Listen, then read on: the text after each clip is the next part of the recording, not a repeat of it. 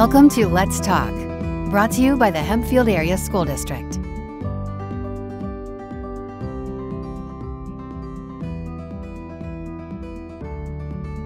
This is Jeff Krakoff, and we're speaking with Superintendent Tammy Wolicki. Thanks for joining us.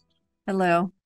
So we've had previous conversations with Mike Arnold from SiteLogic, um, with Jason Lochner, principal at Harrold Middle School, and, and some of the things they've talked about where a lot of things have to change to get Harrold up to speed as a modern school building. It's going to cost a lot of money. Um, Mike had also mentioned it's unusual for a school district with the enrollment the size of of uh, Hempfield area to have three middle schools instead of two. Jason had spoken about it's actually going to be a, a good thing to even out class sizes, to have more consistent course offerings. Um, but from your perspective as superintendent, with all that said, if the plan goes through and Harrold closes, how do you know that this is the right decision to make? First, allow me to say it's not an easy decision to make. We realize um, a huge impact uh, on many individuals. As, as we look at, at the student enrollment on a broad scale, we see that over the past 30 years, we have had over 2,000, um, we have 2,000 fewer students that, that attend our schools. Uh, we've closed two elementary schools, Bovard Elementary and East Hempfield Elementary were both closed.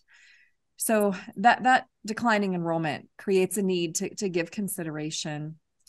We we certainly look to at our current enrollment, the elementary enrollment. Right now, we have our lowest class size attending kindergarten, and that's with only 337 children. Yeah. So, as those children continue to move into the middle schools, we anticipate um, the low enrollment. We also, as, as you mentioned, Mike Arnold did share. There's a lot of need at Harrold. Harrold, of course, is is a building that is um, in, in, need of a lot of updates to bring it up to standard and to align with with the other two middle schools. So those are all um, important considerations whenever we make a decision um, of this magnitude. Okay.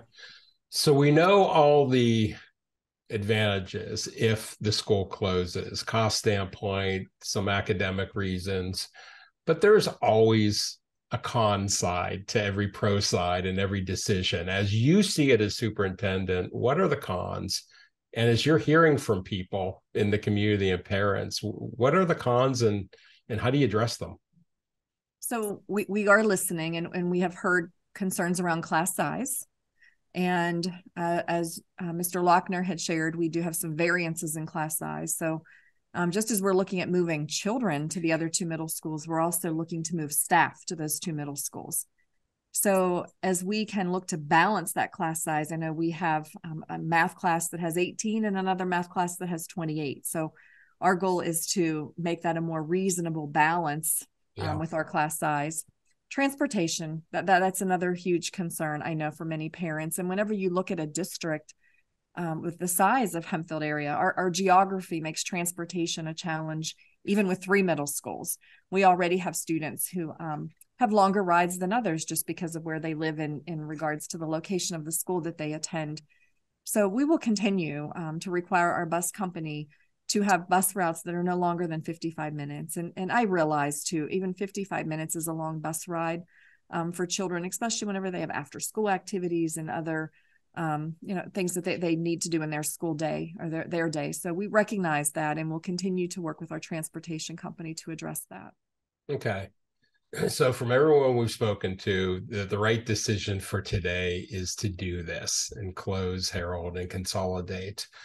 I wonder what happens down the road. You know even though the demographic study shows enrollment has been declining it is declining we don't know what's going to happen down the road. What happens if there's a lot of building taking place and there's actually growth in the school district? Does this decision become a bad one when we look down the road? Well, first, it would be wonderful to have a lot of growth. Hempfield area has a lot of land, a lot of opportunity for growth. So, when the feasibility study was completed, Core Architects worked with SiteLogic and they actually provided some potential additions for both Wendover and West Hempfield Middle. So those could be considerations. If the growth is such that either that's not sufficient or maybe it occurs in a specific um, location within the district, that's a wonderful opportunity. You know, there would be additional tax revenue with all this new growth and higher enrollment. You, you could build a new building, um, which would then better meet the needs of, of the children. Okay. Now, if Harrold does close, what's going to happen to that building? Do you have any plans in the works? There, there are currently not plans. Of course, this decision is still um, to be made.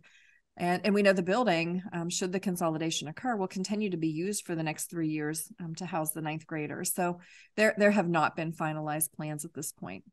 Okay. I know a lot of people in the community are wanting more transparency. You know, we all want more transparency from every institution in our lives, right? Right. But what do you say to a parent or or anybody else within the district that says, you know, you haven't been transparent enough with us? So I I would would share that we, we are working and will continue to work for transparency in all on all aspects. So we have uh, made parents aware of the potential with um, parent letters. We did hold a public hearing. Um, we held a, just an informational meeting early in the process.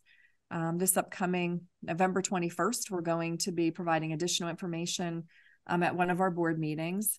Uh, the Tribune Review has has provided some press coverage of several of our, our public board meetings where this information has been shared. Uh, our headlining Hempfield um, issue will contain an article as well, and our website uh, does does contain all of the information that's been shared to date, as well as we continue to go forward. There's an FAQ document, and we'll continue to add to that document.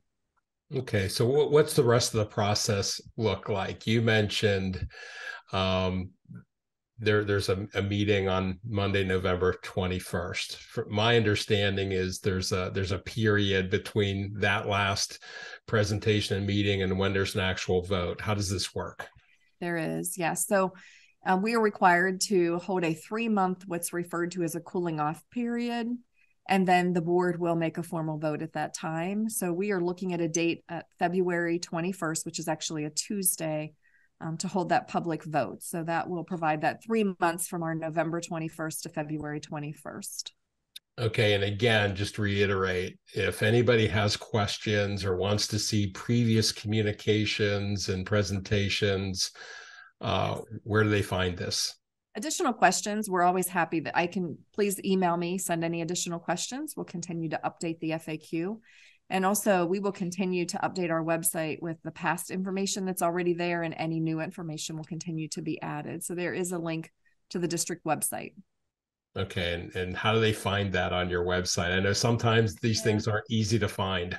You're right. You're right. We are going to keep it in our news section. So on the main page, there will be a link that will take you directly to that. Okay. Okay. So last question. Do you have any final closing thoughts that you'd like to share with people within the district that might have concerns? I do. I do. You know, as I think about a decision such as this, there there are logical aspects to the decision right? We talked about enrollment. We talked about the condition of harrold. We talked about how it um, will provide equal um, course offerings. Mr lochner addressed that. Uh, we talked about how it will facilitate the high school renovation project.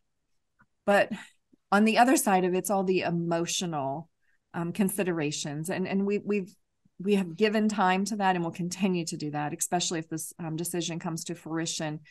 We recognize the fact that it can become another transition for children, especially as we're um, the children that are currently in those grade levels that will need to go to Harrold as a ninth grade um, if this decision again is is approved. So transitions for children as as a parent and and all parents know as their child move from elementary to middle middle to high school there's always that you know feeling of anxiety and the unknown and you know not knowing the school or who will be in my class and their friends. And and we have always worked to support those transitions. We have held orientations. Um, we've worked to provide some social events. We recognize this this will be a major change for for families for children for staff and that we are going to need to give extra effort and attention to the transitioning to assure that everyone um, finds the the change to be as comfortable as what we can possibly make. Um, I also understand the transportation concern. I do. My my I, my daughter is a graduate of Hempfield area. Um, she had a bus ride that was 50 minutes and and i understand as a parent the challenges that that creates um, especially with those after school activities and um, we, we we get that we, we certainly do and we'll work to be as supportive as possible i know there are parents concerned with dropping a child off at elementary and then a child at middle and and that window um, of time and we'll certainly work with parents as well to look at how we can be supportive in that regard so that there are so many pieces to this that impact uh, many individuals. So we just want everyone to know that that we are listening and that we are um, going to be sensitive to all those areas as well.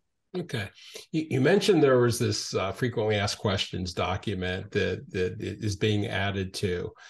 Is is it okay and appropriate for parents to ask questions during this nine this cooling off period?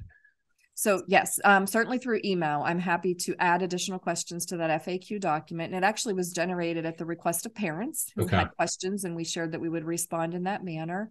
Um, also, any public school board meeting, there's the opportunity for public comment, so that that will continue during this time period as well. So we do want to continue to hear from parents. That's very important. So um, okay. we encourage the use of either of those.